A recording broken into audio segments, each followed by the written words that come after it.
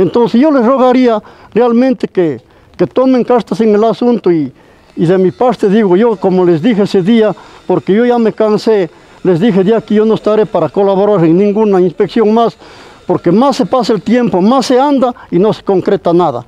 Un punto. El otro punto es que también sobre el proyecto que están haciendo la, la comunidad de Naranjito sobre el alcantarillado, que va a poner la planta en esa parte donde hay eh, la urbanización que está cerca, pues hay bastante gente.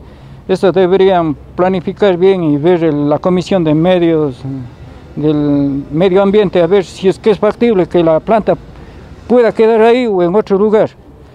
Eso es el rechazo de la comunidad, por eso estamos aquí todos los compañeros. Exigimos justicia y respeto. No estamos en contra del progreso de cada comunidad.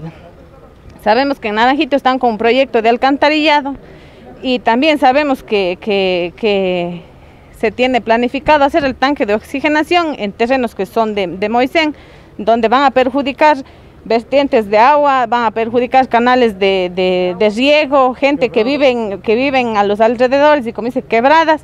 Creo que como, como municipio ustedes están más al tanto, nosotros como moradores de la comunidad sabemos, como se dice por, por comentarios. Entonces, de, de esta manera queremos que como municipio ustedes deben tener una planificación de lo que es alcantarillado, lo que se va a hacer en la comunidad de Naranjito.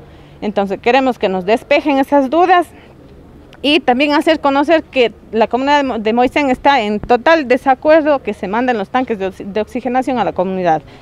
Creo que desde ya, o sea, decimos que si es que se está planificando eso, vamos a, a, tener, van a tener un rechazo total de la comunidad, que no se, no se va a permitir que se haga los tanques de, oxigen de, oxigenación ahí. Está en trámite lo que sería la adquisición del, del, terreno donde se quiere implantar o construir la planta de tratamiento de aguas residuales. Sería de, de revisarle si realmente está en Moisén o en Naranjito, pero a la final, eh, digamos, son cosas a veces eh, un poco no muy dependientes de dónde se va a construir una planta, ¿no? Igual sucede en lo que es agua, ¿no?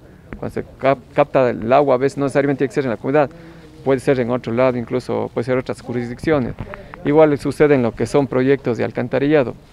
De, de acuerdo a la topografía se identifica y se hace un, una planta de tratamiento de residuales como está proyectado para poder canalizar todas esas aguas que salen de las viviendas.